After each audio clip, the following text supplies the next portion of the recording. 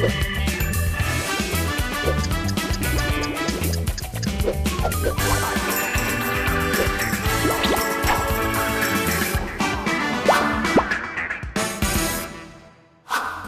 I'm Mr. Sai Mun, and today our focus is conservation of momentum. Momentum is defined as the product of mass and velocity. The formula is easy.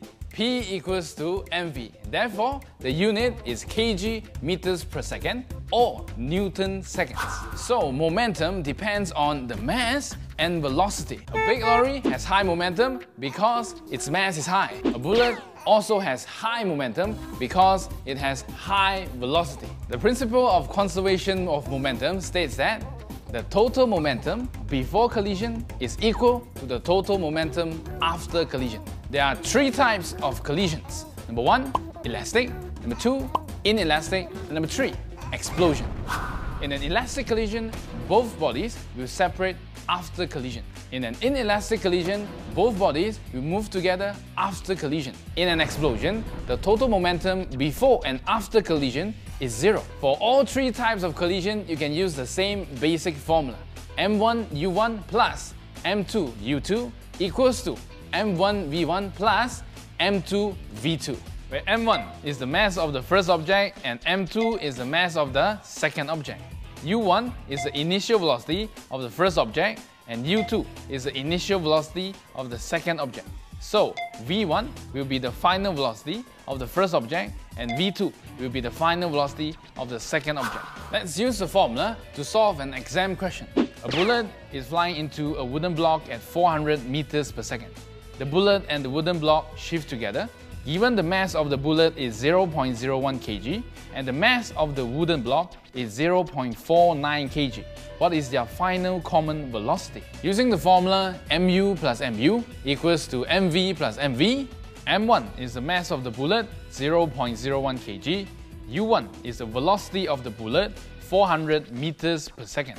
m2 is the mass of the wooden block, 0.49 kg, and u2, the velocity is 0.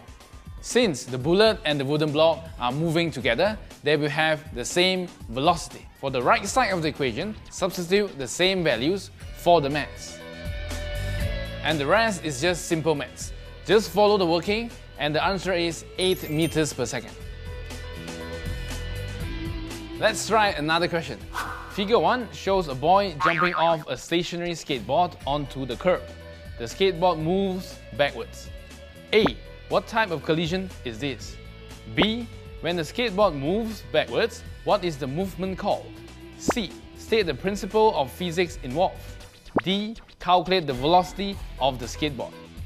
To answer part A, we have to realize before the boy jumps, both bodies are stationary. After he jumps, both bodies move in opposite directions. This is clearly an explosion. For part B, the movement is called recoil similar to when you fire a gun. For part C, momentum is involved.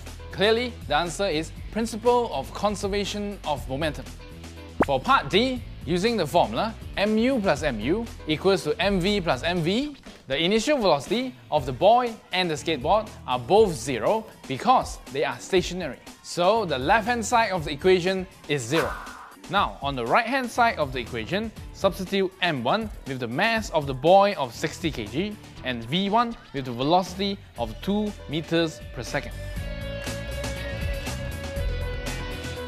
The velocity being negative shows that the skateboard is moving backwards. A question like this in the exams will give you 5 marks in total.